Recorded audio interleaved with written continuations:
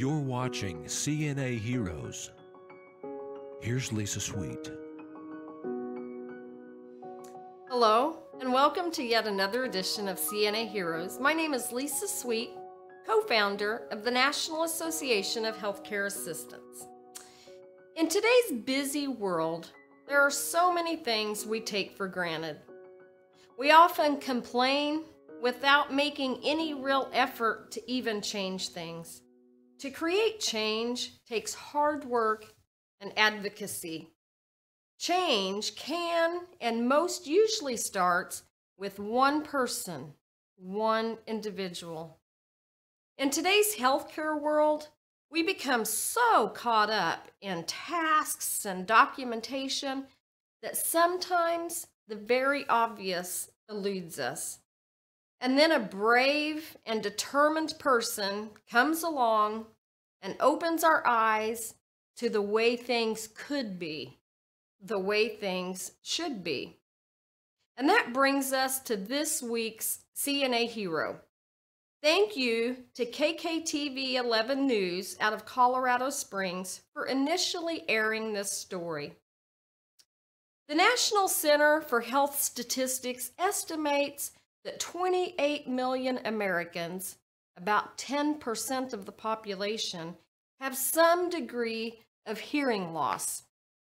About 2 million of these 28 million people are classified as deaf. They can't hear everyday sounds or speech, even with a hearing aid. Imagine being deaf in a hearing world unable to hear what others are saying and what's going on. Not only can this make for loneliness and social isolation, but for young people who are deaf and wanting to start a career, there are really few opportunities. Then came Susan Haney, a deaf student from Denver, Colorado, who wanted more. She was determined to become a CNA. My shirt today says she believed she could, so she did. And that's what Susan Haney did. She approached the Independence Center CNA training program in Colorado Springs, Colorado, about having an interpreter in the CNA class. They were able to make it happen, and it might be the first of its kind in the country. The class was offered to both deaf and hearing students. After four tough weeks, about a dozen students graduated. Several of them were deaf, and one had even traveled from Maryland. The Independence Center is working with employers for job placement for the students, and none of this would have happened without Susan Haney taking it on.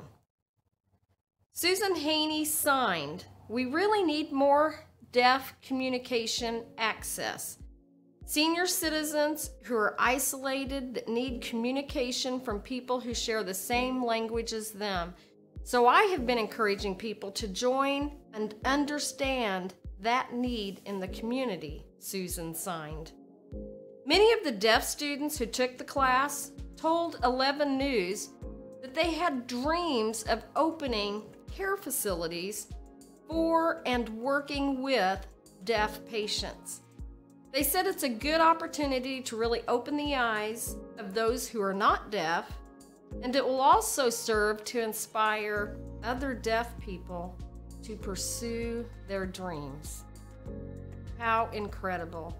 So today, let's celebrate Susan Haney for her passion, her innovation, and her determination to make a difference because she really did. Today we honor Susan Haney, CNA Hero.